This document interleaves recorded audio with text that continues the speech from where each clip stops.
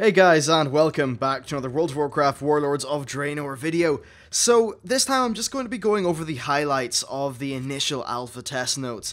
Now, I'm going to have a lot of in-depth videos coming out over the next few days. In fact, I'm already beginning work on my video on the talents, the perks, a whole bunch of the changes, more in-depth. And my general format for these is going to be that I'm going to go over the changes in a factual manner, exactly as Blizzard have presented them. And then at the end of those videos, I'm going to give my own personal thoughts. But this video is just a quick little thing to get you up to speed and give you a little bit of a taste of what is to come.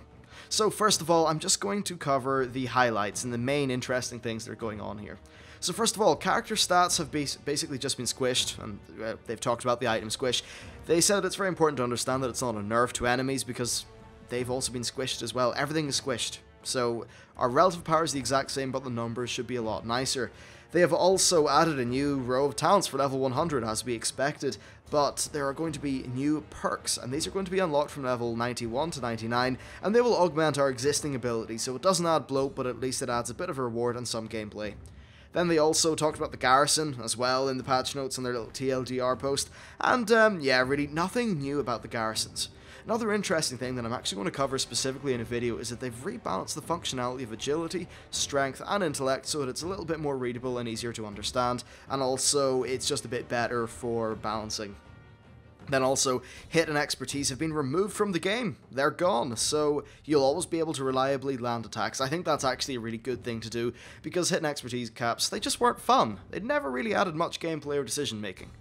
So next he said, um, well not he, um, they said that the pace of healing is going to be adjusted. Basically they want to emphasize tactical decision making regarding efficiency and throughput um, based on both multi-target and single-target situations. Also passive and auto-targeted healing has been reduced a little bit to emphasize the actual choice of players. I think that's a very good thing and it should make healing a lot more mentally engaging, fun, and uh, just better overall. I really am pretty happy about those changes, and actually if you search the channel, I already have a video talking about them. Next, they also said that they rebalanced racial traits so that they're essentially going to have similar combat performance, much better than is at the minute, and there should not be any outliers like, say, the orcs. Overall, um, yeah, overall, extremely good.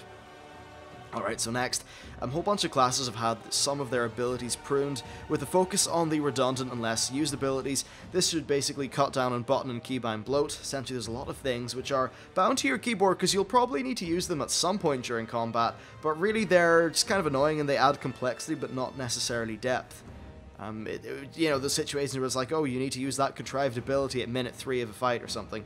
Um, hopefully they can still offer really interesting class-specific parts of fights while being able to remove some of these just more bloaty abilities that aren't particularly fun. Then they've also, of course, talked about the reduction of CC in the game, primarily for PvP.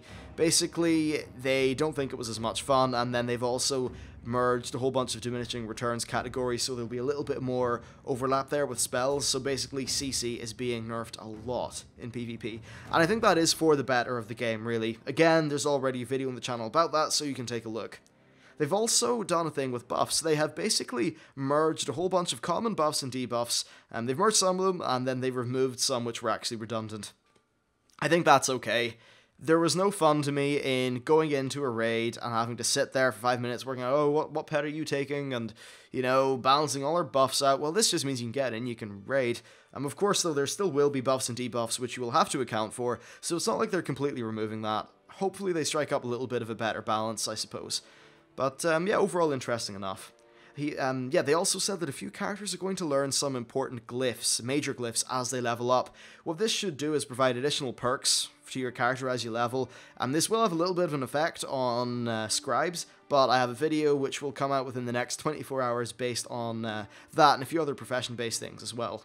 They also said that they have toned down the amount of instant healing in the game by giving several, um, well, by basically giving cast times to a few spells which were previously instants, um, instant spells. I think that makes sense. Instants were a no-brainer in too many cases, especially in PvP, and it reduced the, like, you know, you could, uh, you could, you'd have to fear someone to stop an instant. You couldn't interrupt it or anything like that, and I suppose that just made it a little bit too strong in PvP. And hopefully this change, with the overall balance that's going on, should not affect PvE content. Too much. Still though, I think overall, good change. And um, then next, about Vengeance, has actually been redesigned and they're calling it uh, Resolve. Now, Resolve doesn't increase your outgoing damage, but it does increase tank self-healing and absorption based on your damage taking. I think that's a really cool way to do it. It's a little bit more balanced than Vengeance, though I'd imagine some people will perhaps uh, be a little bit sad they're going to lose some DPS, but honestly, the people who care about DPS, um, well, are they necessarily going to be tanks? I don't particularly think so. I think tanking, it's more about controlling mobs, making sure that you're that badass who never dies, who just, you know, gets everything to stick to you like glue. So I think that's probably a very good change, and it just balances out tanks and DPS a little bit better. Plus it, yeah. So anyway, that, that's pretty good. Then also they have got facing requirements uh, just tweaked in some abilities. I've already, well, I'm going to cover this soon in a video, but some things like backstab can now be used from the side. Basically, they thought that some of these things were really annoying from a gameplay perspective. They didn't think they added much depth, especially in PvP and some really, you know, tough scenarios like, say, heroic raiding, and they decided just to uh, loosen or remove them. I think that actually makes sense, but hopefully they still keep a little bit of the flavor there with those abilities. Okay, so next they also have uh, reduced the mana cost of some resurrection spells to make it a little bit easier to recover from a wipe, and then they've also got rid of all of the combat benefit perks to professions, which is certainly a very interesting one, actually. Yeah, basically it makes professions a personal choice, and I think that is how they should be. Then they said that there's also a multitude of class-specific changes, including things like uh, more distinction between talent specs and masteries and that kind of thing. Look, I'm going to do one video for every class. They'll release over the next few days. You can go and read it if you want, but if you just want uh, a more chilled-out version, I'll provide that in, uh, in due course. Anyway, that's it for this video. Look, just a quick little kind of TLDR primer for what's going on. The future videos on the channel are just going to be diving right into the information, right into a lot of the facts, going really in depth, and just talking about my opinions as well. So um, yeah, you have that to look forward to, a lot of stuff's going on, and just stay tuned to the channel because a lot of very interesting news is afoot, and I just cannot wait to cover it. Thank you very much for watching, and I will see you next time.